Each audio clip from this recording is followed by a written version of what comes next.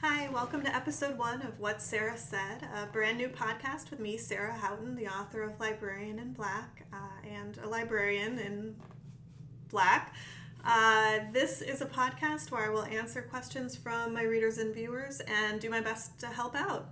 And today's first question comes from Suzanne, and she says, Okay, so what exactly do the copyright laws say about making one copy of a magazine article for personal use, burning a CD for personal use? I know you're not supposed to, but every laptop does this, so is it really truly illegal?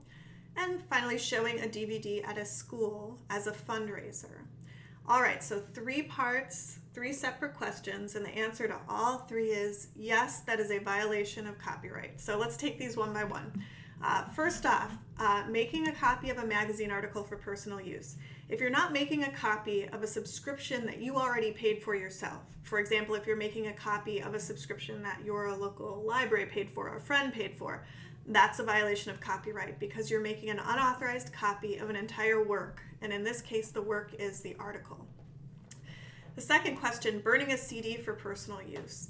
Uh, you're entitled to make a backup copy of CDs that you've already purchased. So, in case they get damaged or something, uh, you can make a, a, backup copy, kind of an archival copy, if you will. Can't share that copy, but you can make that copy and, and keep it in case the first one gets damaged. Uh, but if you're making a, uh, a burned CD, let's say from, again, a library copy or a friend's copy, that is a violation of copyright. Uh, and then lastly, showing a DVD at a school as a fundraiser. Uh, movie companies require that you pay them a screening fee, a, broadcast fee, a, a, display fee, they call it different things, uh, in order to uh, make some money back on that movie. So uh, even if you're not showing it at a giant movie theater, if you're just showing it to a room of 25 year olds, doesn't matter. They still require you to pay that fee in order to, to, to screen that, that film that, that they paid to make. And so showing it at a school as a fundraiser, or even not, even if there's no money involved at all and you're just showing it for free, that is still a violation uh, of copyright because you haven't paid the rights holders what they uh, legally require you to pay in order to use their product.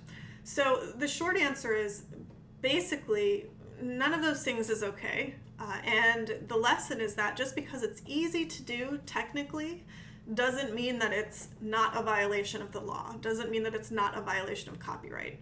So we all have to be very careful in both what we do as library professionals, but also in what we tell other people that they can and can't do. Uh, we need to be comfortable with the law, we need to understand uh, what's admissible and what isn't. Uh, otherwise, we're giving people bad advice. And as information professionals, we don't like that. So, thanks for your question, Suzanne. And uh, congratulations on being our inaugural question for the first podcast. And I hope I'll see everyone else for episode two.